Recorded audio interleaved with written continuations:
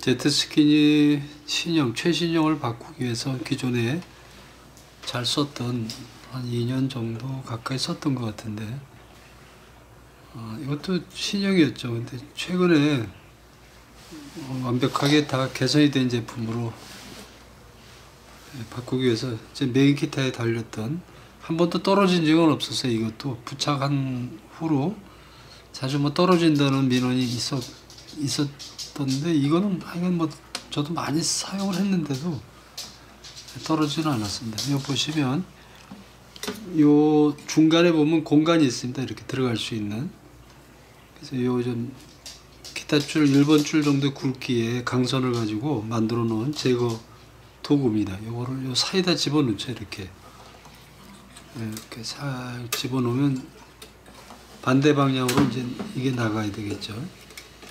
네, 이렇게 나온 상태에서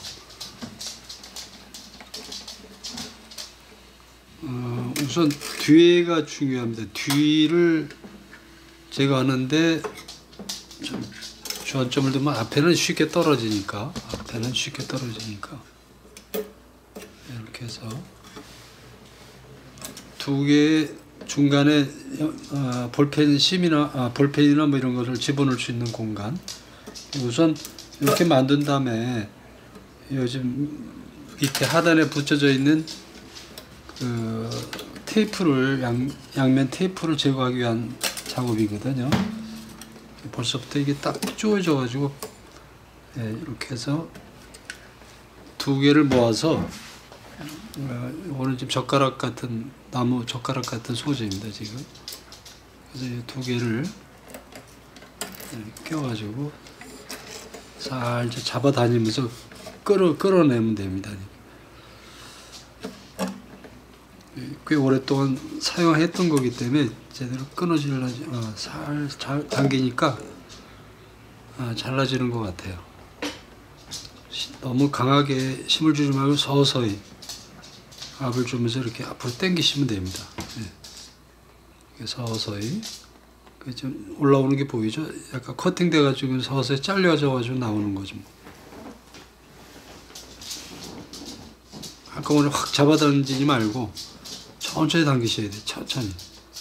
그 밑에 기타 본체 측면에 뭐 나무나 뭐 이런데 손상이 없이 잘 잘려요. 저는 이거를 한 서너 번 했어요. 이 제품을 처음에 총판까지 맡아가지고 그 직접 제가 써봐야 되기 때문에 시행착오 많았죠. 처음에 뭐 자꾸 떨어지는 문제, 뭐 이런 저런 문제가 있어가지고 직접 써보기 위해서 이걸 몇 번 붙였다 뗐다 하는 과정을 했었습니다. 그런데도 불구하고 뭐 크게 손상은 없었어요. 지금 다 잘라서 나왔죠. 보시다시피 이렇게 앞 뒷부분은 다 잘렸고 앞에 부분은 살짝만 서서히 이렇게 앞쪽으로 밀면 예, 쉽게 잘라지는 것 같아요. 잘라지는 게 아니라 띄어지는 것 같습니다. 그래서 예, 됐죠. 문제는 뭐냐면 남아있는 잔유물이죠. 이게 테이프가 이제 이렇게 오랫동안 사용했기 때문에 깨끗이 안 떨어지고 이렇게 이제 이거는 뭐 손, 손을 한번 밀어볼게요. 이렇게 살살 밀니까 네, 테이프가 좀 나오긴 합니다. 이게 잘 안 떨어지면 이거 뭐 스티커 제거 스프레이 같은 거를 이용해 가지고 제거할 수는 있어요. 뭐 시간이 많이 걸리니까 일단 이거는 제거하는 모습은 이 정도만 보이고 깨끗이 제거한 다음에 다시 신제품만 한번 붙이는 쪽으로 하겠습니다. 여기 손상은 없어요.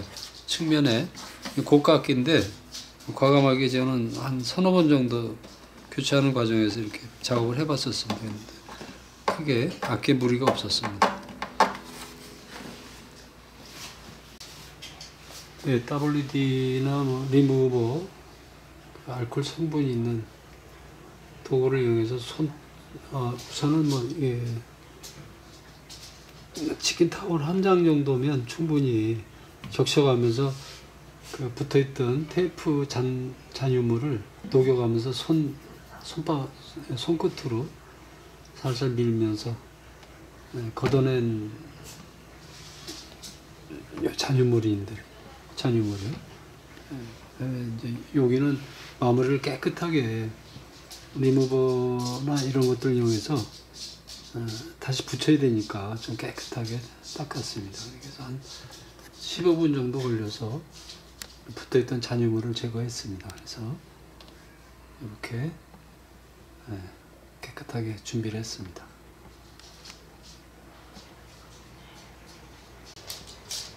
네, 스키니 바닥도 지금 이렇게 잔여물이 남아있는데 다 똑같은 방법으로 제거 깨끗이 제거해서 리무버로 예, 이런 것들이 남아있지 않도록 어, 작업을 나중에 해서 어, 또 다른 사람들이 쓸 수 있도록 준비를 해야 되겠죠.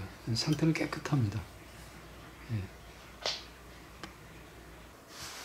예, WD40으로는 좀 닦는데 좀 잘 녹음, 녹이면서 닦을 수 있었고 마무리는 리무버 손톱제 그 네일 이게 저 쿠, 쿠, 쿠팡 말고 그냥 다이소 같은 데 가면 한 천 원, 이천 원이면 삽니다. 리무버 가지고 마무리 해가지고 깨끗이 제거를 했습니다. 시간은 좀 걸리네요. 깨끗하게 닦기 위해서. 일단 이거 재사용이 가능하니까.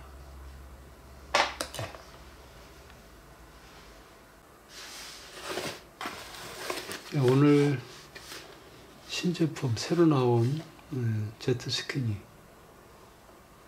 오늘 받았습니다. 그래가지고 비교를 한번 해드려 볼게요. 이 사이즈 크기가 받침대가 좀 커진 것 같습니다. 그리고 이 접, 접촉 부분 접촉 부분이 많이 개선돼서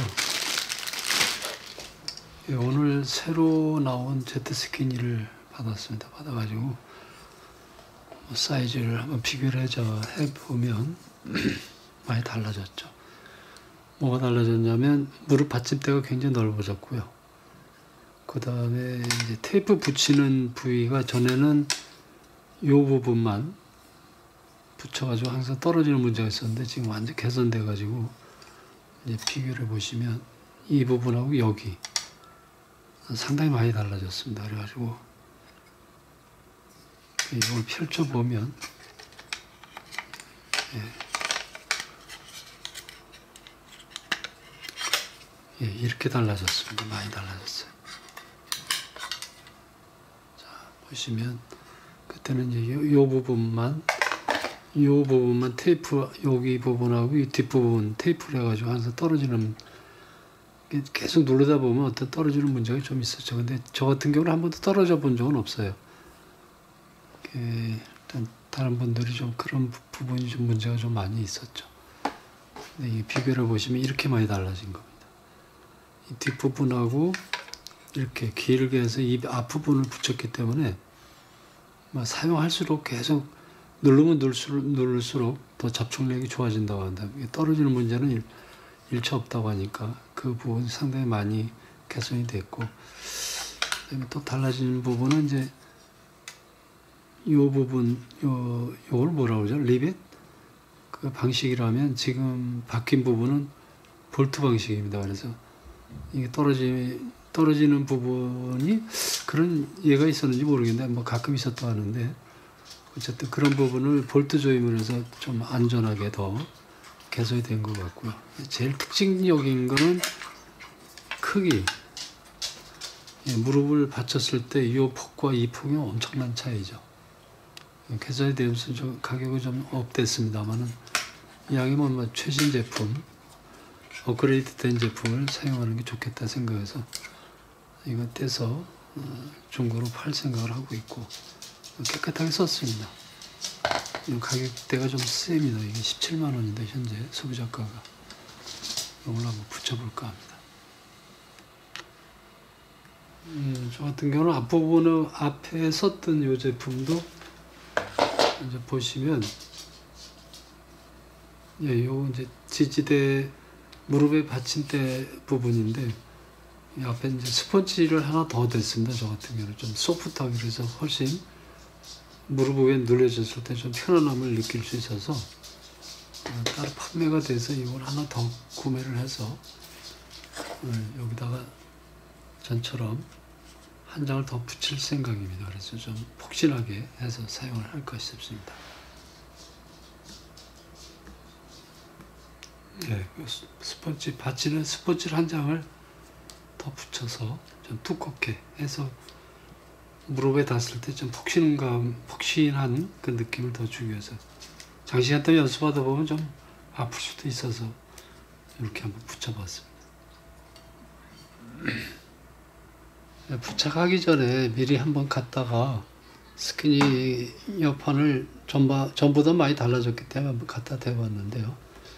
이 부분이 이제 테이프가 요만큼 있고 다음에 이제 보시면 이 앞부분에 길어진 이 지지대라고 하죠. 받침대를 완전히 개조를 해가지고 이 앞부분에만 붙일 수 있도록 그렇게 했는데 미리 한번 갖다 대보면 네, 이런 식으로 해서 붙이면 될 것 같습니다. 네, 이런 식으로.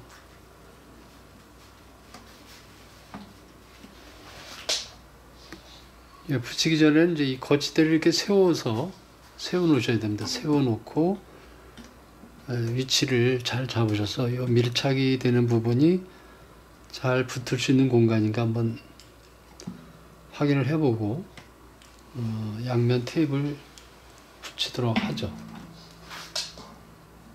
붙이기 전에 이런 테이프를 좀 준비해가지고 표시를 미리 해놓는 게 좋습니다. 위치를 잡을 때.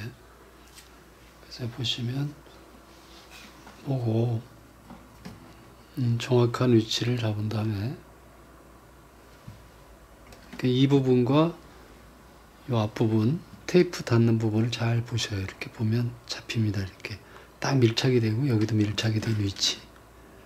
그래서 요쯤에다 표시를 미리 해놔야, 되겠죠. 이런 식으로.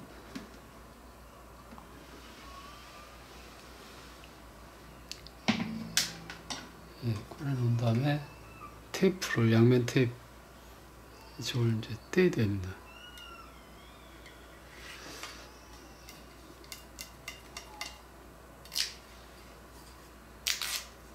떼고 여기도 떼고 전처럼 조금만 붙여도 이게 누르면 누를수록 아, 사용할수록 계속 그 테이프가 안착이 되는 거로 개선이 됐습니다. 그러면 이 뒷부분부터 붙여야 되니까 보시면 양옆을 센터를 잘 맞추셔가지고 어, 이 부분 측면 양쪽 표시가 되어 있는 줄 간 부분에 갖다 대시고 네, 일단 붙이고 여기부터 붙입니다. 붙이고 앞부분을 잘 보시면서 이 라인을 잘 센터에 중앙이 잘 왔는지 확인하시고 그 다음에 이제 이 앞부분 또 이렇게 눌러주시면 돼요. 그러면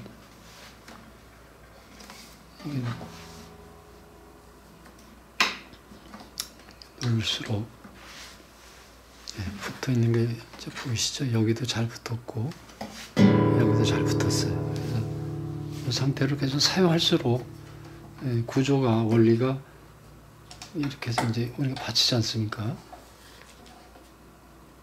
받쳐서 사용할수록 누르면 누를수록 이 부분과 이 부분이 다 큰 무리 없이 전처럼 이 부분만 의존하다 보니까 자꾸 떨어지는 그 장력에 의해서 떨어지는 문제가 좀 있었는데 엄청나게 개선이 된 거죠. 가지고 이거를 이제 보시면 예, 이렇게 폭이 넓어졌기 때문에 요만했던 것이 이만큼 넓어졌기 때문에 무릎에 닿는 면적이 많아서 더, 더 안정이 된.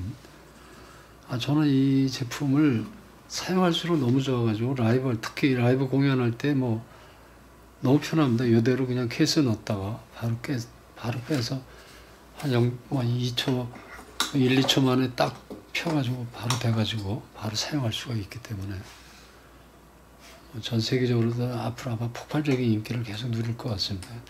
어쨌든 세계 특허를 낸 제품이기 때문에 예, 타의 추종을 불러올 것 같습니다. 이 제품은 정말 대단한 제품입니다. 기타 종주국인 스페인이나 유럽에서도 만들지 못한 거 한국에서 만들었다는 게 굉장히 자랑스러운 그런 제품이고요. 어, 제 악기도 상당히 고가 악기잖아요. 근데 거침없이 부착했던 거는 그만큼 이게 뭐 뗐다 붙였다 할 일은 없잖아요. 이제는 정말 제대로 된 제품을 붙였기 때문에 뗄 일은 없겠네요. 앞으로. 볼트 조이면 이런 것도 아주 튼튼하게 개선이 됐고 특히 무릎 위에 안착되는 부분이 넓어져서 굉장히 좋고 네, 떨어져 테이프 떨어지는 문제는 완전 개선된 것 같습니다. 어떤 상황에서도 이제는 전에는 이만큼 붙였는데 이만큼 붙였는데도 아무 문제가 없고 구조 자체가 예, 많이 달라진 겁니다. 그러니까 지금 비교를 해드려 보면 엄청난 차이가 난 거죠. 요, 요, 요 부분만 이렇게 됐던 부분이 이 앞부분 지지대 앞쪽에 오히려 안쪽에 이걸 길게 롱바디에 걸칠 수 있도록 딱 만들어 가지고 했기 때문에 사용할수록 안정감을 주면서 계속 테이프는 더 계속 붙는 형태로 어, 많이 개선이 된 겁니다. 잘 써보겠습니다.